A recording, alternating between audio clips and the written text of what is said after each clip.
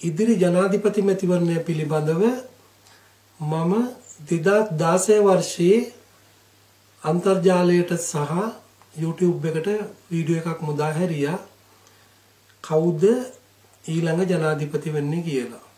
මම මහින්ද රාජපක්ෂ මහත්මයා පරදිනානාවකයේ කිව්වෙත් 2013 2015 ජනවාරි 8 ජනාධිපති මැතිවරණ තිබ්බේ. ඊළඟට කියපු අනාවැකි සියල්ලම මගේ සාර්ථක වුණා. ඩොනල්ඩ් ට්‍රම්ප්ගේ එක ඉන්දියාවේ මෝදිගේ අනාවැකිය අගමැති රනිල් වික්‍රමසිංහ විශ්වාසභංගේ ජය ගන්න එක සරත් පොන්සේගේ කාසනයක්වත් ගන්න නැති එක මෛත්‍රීපාල ජනාධිපති වෙන එක අනිල් පිනට අගමැති වෙන එක නැවත පහමැති වෙන රනිල් අගමැති වෙන එක මේ අනාදි වශයෙන් පළාත් පාලන මැතිවරණය පොහොට්ටුව ජයග්‍රහණය කරන එක. මෙහෙම කියවුව අනාවැකි 13ක් කියලා තියෙනවා. ඉදිරි ජනාධිපති මැතිවරණ මෛත්‍රීපාල ඉදිරිපත් වුණොත් එක ආසනයක් මේ මේ ලක්ෂ දෙකක්වත් ඡන්ද ගන්නේ නැහැ කියලා මම කියලා තියෙනවා. මේ ඔක්කොම මම කල්ැතුව කියලා තියන්නේ. ඊළඟට සජිත් ප්‍රේමදාසට ඉදිරි ජනාධිපති මැතිවරණයට මේ ඉදිරිපත් වෙන්න හම්බ වෙන්නේ නැහැ. ඉලුවක් දිනන්නේ නැහැ කියලා කියලා තියෙනවා. සජිත් ප්‍රේමදාස ගැන මම. මොකද මේ වෙනකොටත් ඉතින් නියත විවරණ දීලා ඉවරයිනේ සමහර සංඝයා වහන්සේලා රනිල් වික්‍රමසිංහ තමයි මේ ඉදිරිපත් කරන්න කියලා.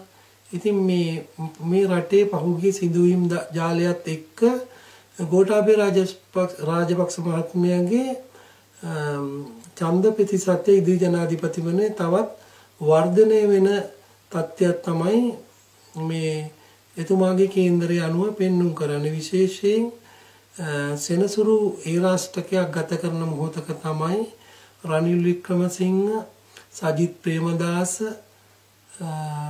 දෙන්නම ඉන්නේ ජම්මේ රාෂ්ට්‍රක ගත කරමින්. වෘච්චික ලග්නෙන් උපන් ගෝඨාභය රාජපක්ෂ මහත්මයාගේ කේන්දරේ තියෙන ඉතා වටිනා යෝග කීපයක්. මහින්ද රාජපක්ෂ මහත්තයාගේම තියෙන චන්ද්‍රාදී යෝගයට සමාන ලග්නාදී යෝගයක් ගෝඨාභය රාජපක්ෂ මහත්මයාගේ කේන්දරේ තියෙනවා. මේම යෝග තියෙනකොට ඒව පංචමහා රාජයෝග අභිභවා යනවා.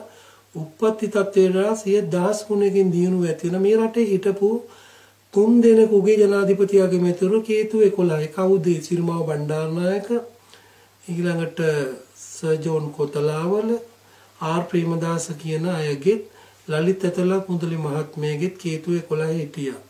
ලලිත් ඇතුළත් මුදලි හිටියන ඔය රනිල් වික්‍රමසිංහට මේ රටේ අගමැති වෙන්න හම්බ වෙන්නේ නැහැ.